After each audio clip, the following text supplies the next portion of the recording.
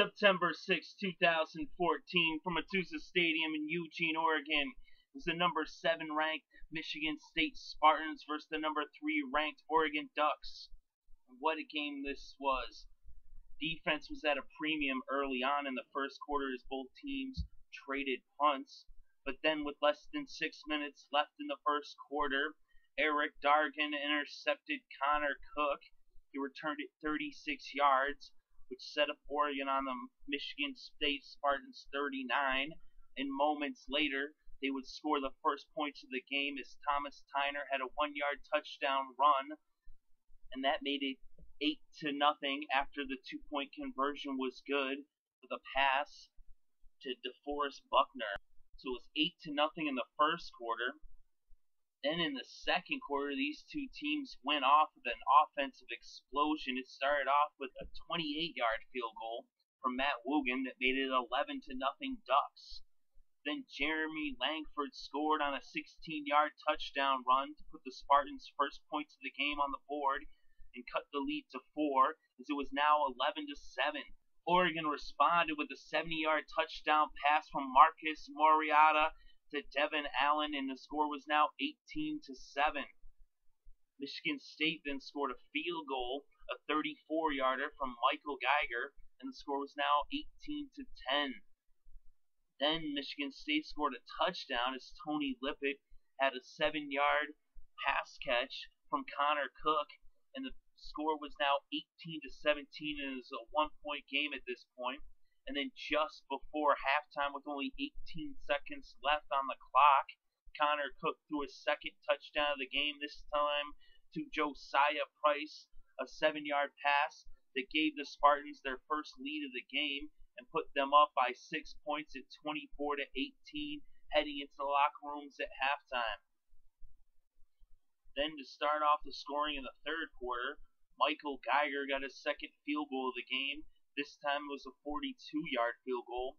The score was now 27 18, Michigan State.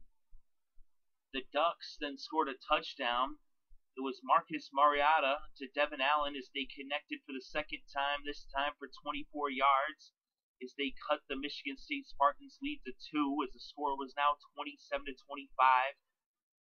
But then, with just a minute 34 left in the third, Marcus Mariota threw his third touchdown pass of the game, this time to give the Ducks the lead by five at 32 to 27 as he connected with Keanon Lowe on a 37-yard touchdown pass.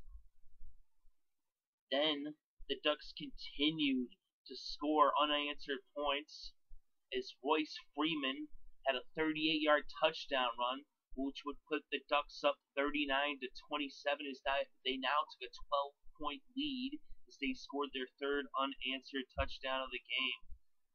So the Spartans then ended up going for it. They took a chance. They went for it on fourth and two, and Jeremy Langford was shut down as the Ducks defense came up huge and they held them as the Spartans were coming in. They were on the Oregon's 24, and the defense held.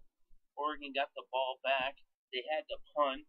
And now Michigan State had the ball once again, but this time it was Ifo Ekpre Olomu who intercepted Connor Cook for his second interception of the game to give the Ducks back the ball.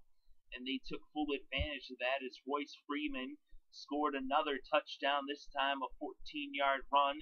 And the Ducks were now up 46 to 27 as they took a 19 point lead with 1 minute and 25 seconds left in the game and that would be the final score. As the Ducks ended up running away with this one as they scored four unanswered touchdowns in the second half to win by 19 points.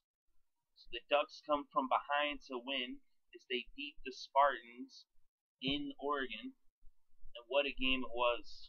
Just this game got really crazy really quick as those Ducks are very explosive on offense and once they get momentum and start rolling, they're hard to stop. Marcus Mariota was 17 for 28 with 318 yards through the air with three passing touchdowns. Connor Cook was 29 for 47 for the Spartans, throwing for 343 yards, two touchdowns, and two interceptions. Those interceptions were very costly for the Spartans. Jeremy Langford ran for 86 yards for MSU off of 24 carries, and he had a touchdown. Royce Freeman had 89 yards on the ground for the Oregon Ducks off of 13 carries. And Marcus Mariota ran for 42 yards off of 9 carries.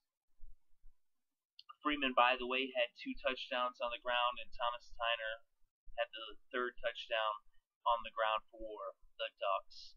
Devon Allen had 110 yards receiving for the Ducks off of three catches, along with the two touchdowns. So two of his three catches were for touchdowns.